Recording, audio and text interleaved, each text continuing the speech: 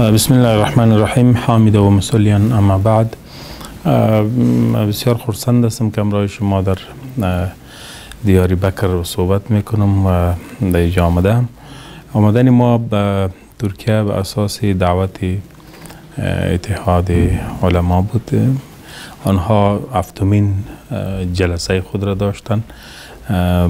علمای اسلام را از کشورهای مختلف دعوت کرده بودند به خاطر مسائل علمی و تحقیقی و صحبت ها بین علما.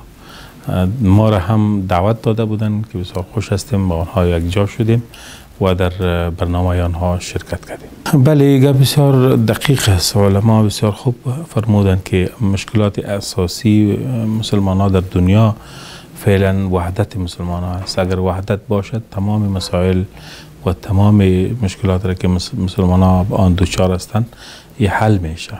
وحدت و یک پارچگی مسلمان ها تفاهم و مفاهمه در بین مسلمان ها بسیار عنصر مهم است و علما در این راستا بسیار کارهای کرده میتونن بله به نظر ما علما باید همیشه بین خود تماس های مثبت داشته باشند. بین خود گردهمایی ها و مجالس داشته باشند. این عمل می‌تونه که تفاهم را بیشتر ایجاد کنه بین ملت, ملت های مسلمان که در کشورهای مختلف زندگی می‌کنن.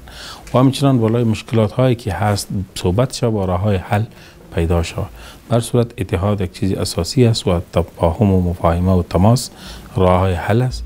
و ایرای بسیار دقیق بود که علما پیشنهاد کرد